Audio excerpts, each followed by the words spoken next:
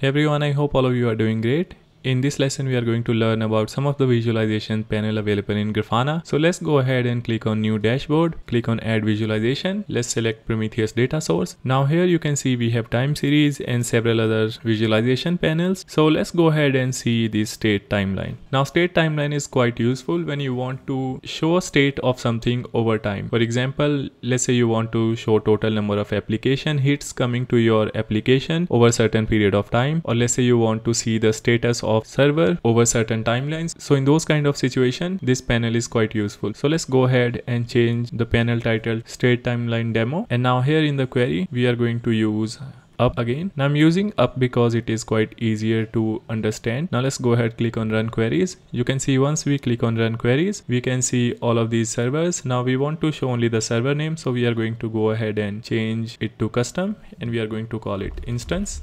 Now here you can see we are able to see only the server name and here we are going to change it to let's say last 30 minutes. Now you can see it is showing us multiple states. It is showing us one state as 80 and another one is less than 80 and this is coming from the threshold. So we are going to go ahead and scroll down here. You already know that for matrix up we have only two states. We have state of 0 and 1. So this is going to be for 0 and we are going to keep a color of red and we are going to change it to 1 and we are going to keep its color of green. So basically at this period of time this server was down and at this point of time you can see that our db server was down for 1 minute 45 seconds. Now let's go ahead click on apply. So i'm just going to go ahead and bring up this app underscore server 2 i have intentionally kept it down just to show you how it's going to look like. So i have brought this server up. Now we can change the refresh interval to 5 seconds. We are just going to wait for a few seconds and we should be able to see the green bar appearing here okay now you can see green bar has starting appearing here. So now you can quickly visualize that for how long this server was down. You can see that for 7 minute 30 seconds our app server 2 was down. Now here you can see it is showing value of 1 or 0 so if you want to maybe show it as on and off you can do that. Let's go ahead and edit it. And we are going to just scroll down. Under the standard options you can go ahead and change the unit to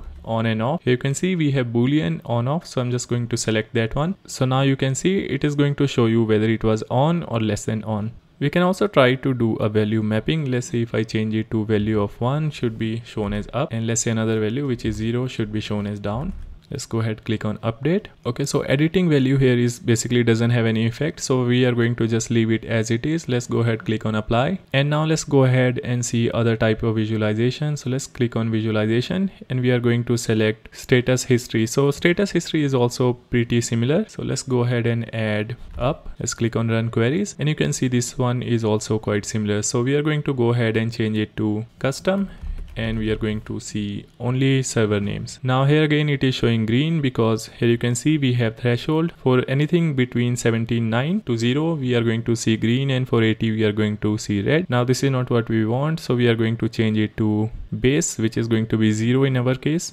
and this one is going to be 1 and for 1 we want to change it to green color. Now click on apply. So you can see this is how both of them are gonna look like. Again you can play around with how these bars are gonna look like. So let's go ahead click on edit. I'm just going to change the panel title going to call it status history demo. And here you can see we have and here you can see under status history we have many items to play around. For example you can decide how's the row height gonna look like. I can minimize it. I can maximize it. Okay so let's say we want to keep it here we also have column width. So either we can reduce the column width or we can increase the column width. We also have line width. We also have line width. So you can see if i increase or decrease it this is how it's gonna look like. So let's say maybe i want to keep it like this. And we also have fill opacity. So you can play around with this. Now let's go ahead click on apply. So this is how it's gonna look like